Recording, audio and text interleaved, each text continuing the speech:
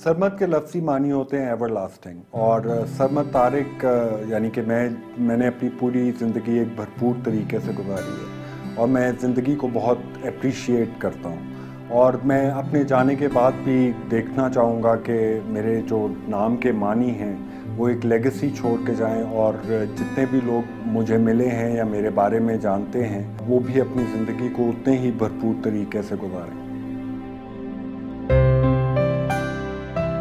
मेरा नाम है सरमद तारिक और मैं हूँ Pakistan. The way I see it is I am more of a storyteller और मेरी जो एक्सपर्टीज़ हैं स्टोरीज़ में, वो मेरी अपनी ज़िंदगी की कहानी है। मेरी जो कुछ अचीवमेंट्स हैं जिनकी बेसिस पे मोटिवेशनल स्पीकिंग करता हूँ, वो ये हैं कि मैं कन्नों से नीचे पैरालाइज्ड हूँ और इस कंडीशन में मैंने एक वर्ल्ड रिकॉर्ड बनाया हुआ है। ड्राइविंग की थी, मैंने खैबर टू कराची तैंतीस घंटे।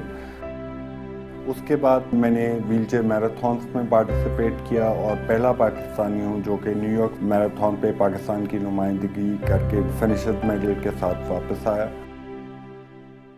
15 years old, aspiring to become a boxer और पाकिस्तान की नुमाइंदगी करूँ ओलंपिक्स जैसे प्लेटफॉर्म पे।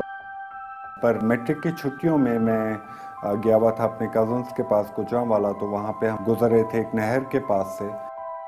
मैंने फ़ौरन कमीज़ उतार के, सर के बल वहाँ पे छलांग मार दी। जब छलांग मारी तो मेरा सर जो है वो ज़मीन को जाके लगा और तब मुझे अंदाज़ा हुआ जहाँ मैंने छलांग मारी वहाँ पे तकरीबन ढाई फुट पानी था। तो मेरी गर्दन तीन जगह से टूट गई और उसकी वजह से इंस्टेंटली मैं नेक डाउन गर्दन से नीचे बिल्कुल पैरालाइज हो गया। जब मैंने ये रियलाइज़ किया कि जिस्मानी तौर पे मैं हमेशा किसी न किसी का मोहताज रहूँगा तो मैंने कुछ स्टैंडर्ड्स अपने लिए सेट किए कि मैंने कोटा नहीं अवेल करना, मैंने किसी की फेवर्स नहीं लेनी। क्योंकि मैं अब फिज़िकली डिपेंडेंट हूँ तो अब मुझे फाइनेंशियली अपने आप को इंडिपेंडेंट करना है। बिकॉज़ जब आप इस हालत में आ जाते हैं तो आपके मेडिकल एक्सपेंसेस बहुत ज़्यादा बढ़ जाते हैं। हम उसको ये फैसला करने पे मजबूर नहीं कर सकते थे। ये अर्ज़ जो है उसके अपने अंदर से पैदा हुई। और हम जो थे हमने उसको फैसिलिटेट किया था।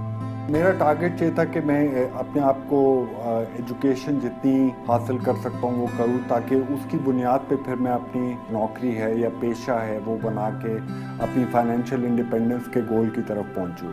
सबसे बड़ा मसला मैं एडमिशन का था कि कोई नार्मल स्कूल इसको as a regular student admission नहीं देता था। बड़ी मुश्किल से एक स्कूल ने दाखिला दिया। फिर उसने एफए किया उसके बाद उसने बी किया फिर उसने एमबीए किया।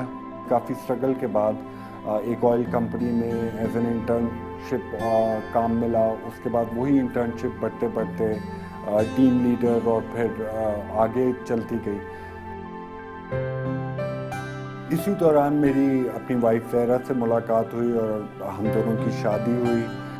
He is very very full of life जिस चीज़ में अगर सरमद ने बिलीव कर लिया कि मैंने ये करना है तो वो उसके बारे में, हम होता है ना, कोई काम है अच्छा ठीक है तो बहुत ज़्यादा पैशन के साथ उसे फील करता है और फिर उसकी तरफ़ मूव करता है। फाइनेंशियल टारगेट्स तो मैंने अपने काफ़ी हद तक अचीव कर लिए थे तो उसके बाद मैंने सोचा कि मैं अपनी स्पोर्ट्स का जो हमेशा का शौक़ था, उसको परसू करूँ। तो ड्राइविंग में काफ़ी अरसे से कर रहा था एक सिंपल हैंड कंट्रोल किट मैंने बाहर से इंपोर्ट की थी। वो एक ऑटोमेटिक गाड़ी में लगा के मैं गाड़ी चला रहा था। तो उसी से रिलेटेड कुछ करने का सोचा। आई वॉन्टेड टू अटैम्प्ट कि मैं पहला क्वार्टर पलीजिक बनूँ, जिसने नॉन स्टॉप सबसे लंबा डिस्टेंस कवर किया है। ड्राइव का प्लान ये था कि मैं बाब खैबर से शुरू करूँगा और सी साइड कराची पे जाके उसको एंड करूँगा। तो मैं और मेरे दो दोस्त फरीद और आमिर जामी, हम लोग उस गाड़ी का क्रू थे। It was about thirty thirty three four hours drive जो कि करनी थी। तो हम सोचते थे कि मे बी सहमद ये नहीं कर सकता बट सहमद की जो टोटल इंड्योरेंस टेस्ट था ही वॉज़ कन्विंस्ड कि उसने ये टोटल ड्राइव करनी है और ही प्रूव्ड के उससे ज़्यादा डिटर्मेंट और एम्बिशियस आदमी में भी हम सारे फ्रेंड्स में तो एटलीस्ट कोई नहीं था। मैं जब सुबह बिस्तरे से उठता हूँ तो मुझे तीन से चार घंटे लगते हैं तैयार होने में और उठ के बैठ के इस हालत में आने में। कई दफ़ा लोग मुझे पूछते हैं कि क्यों आप इतनी मेहनत करते हैं और क्यों आप इतनी स्ट्रगल में से गुजरते हैं एवरी डे मैं एक चीज़ पे बड़ा पुख्ता यकीन है, वो ये है कि अगर मैं एक दिन बेड पे गुजार दूँगा तो अगर किसी का टाइम ज़ाया हो रहा है तो वो मेरा हो रहा है और किसी का नहीं हो रहा। मेरे इर्द गिर्द के लोगों की ज़िंदगियाँ चलती रहेंगी और वो लोग आगे बढ़ते रहेंगे। और उससे मेरा डिप्रेशन और ज़्यादा मज़ीद बढ़ेगा, ना कि कम होगा। तो मेरी ज़िंदगी की रिस्पॉन्सिबिलिटी मेरे ऊपर है। उसको अच्छा बनाना, बुरा बनाना, वो सब कुछ मेरे हाथ में है। तो उस एफर्ट के लिए आपको रोज़ बिस्तरे से निकलना पड़ता है और अपने आप को पुश करना पड़ता है। मैंने इंटरनेट पे सर्च किया कि मेरी हालत में सबसे मुश्किल स्पोर्ट्स कौन सी हो सकती है? तो उसमें मैराथॉन्स का ज़िक्र आया। और मैराथन जो होती है उसमें आपको अपनी व्हीलचेयर को अपने बाजुओं से पुश करना होता है और 42 किलोमीटर की एक रेस होती है। सरमद ने मैराथन का जब सोचा, उस वक्त तक कभी सरमद वो रेसिंग व्हीलचेयर पे भी नहीं बैठा हुआ था। और उसने कहा कि ये एक चीज़ है जो मैं कर सकता हूँ और मुझे करनी है। बड़ी देर प्रैक्टिस जितनी कोशिश कर सकता था, जितनी हेल्थ अलाउ करती थी। मेरी खुशकिस्मती के 2005 में लाहौर मैराथन पहली हुई। मेरा रेस मुकम्मल करने का टाइम जो था, वो साढ़े तीन घंटे था। जब पहला लैप ख़त्म हुआ तो साढ़े तीन घंटे गुजर चुके थे। कुछ देर के लिए ख्याल आया कि नहीं यार अभी मुड़ जाते हैं, अभी टाइम भी पूरा नहीं हुआ। फिर एकदम ख्याल आया कि ये रेस मैं अपने लिए कर रहा था। और मैं ये देखना चाहता था आया मैं इसको मुकम्मल कर पाऊँगा या नहीं?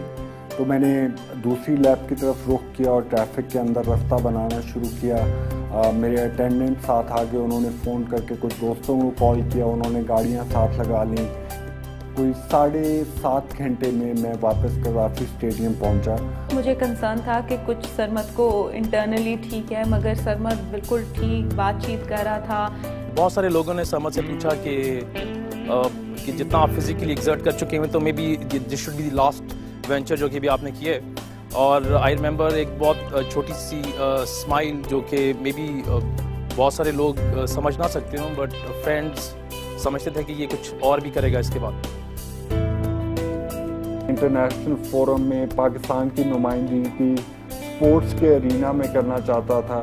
It was a challenge to raise funds और इस तरह की चीज़ें कंप्लीट करते करते but eventually I was able to go to New York और वहाँ पे I was the first ever Pakistani wheelchair bound athlete to go and participate and come back with finishers medal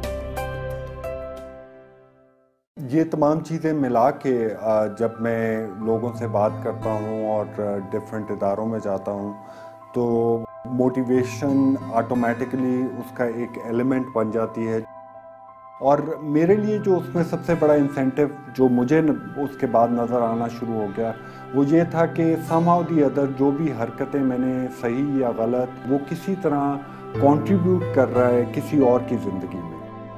हमें तो छोटा सा भी मसला हो हम इतनी कंप्लेन करते हैं मगर सरमत को मैंने बहुत कम देखे कि वो कंप्लेन करता है। वो उसकी प्रैक्टिकल चीज़ों की तरफ़ जाता है कि अच्छा जो मैं कर सकता हूँ। ख़ासतौर पर मेरा मेजॉरिटी काम जो आजकल मैं कर रहा हूँ, वो यूथ के साथ है। जब आप यूथ के साथ ऐसा काम करते हैं और आपको उसका एक पॉजिटिव रिस्पांस मिलता है और आप फिर अगर उन बच्चों के साथ कोचिंग जारी रखें और आपको इवेंचुअल रिजल्ट्स नज़र आते हैं तो it is very fulfilling Sarmat का जो एटीट्यूड है टुवर्ड्स लाइफ उससे हम ये सीख सकते हैं कि जब हमारे पास बहुत सारी लिमिटेशंस हो तो हमने तब भी किस तरह गुजारा करना है। हमारे पास लिमिटेशंस हो तो हमें ग्रजेस के बगैर कैसे ज़िंदगी गुजारनी है? मैं एक चीज़ गारंटी से कह सकता हूँ। अगर आप अपनी वीकनेसेस को अपनी स्ट्रेंथ्स में कन्वर्ट करना सीख लें then sky is the limit और आप वो कुछ अचीव कर सकते हैं जो कि आपने कभी सोचा भी नहीं होगा कि पॉसिबल है।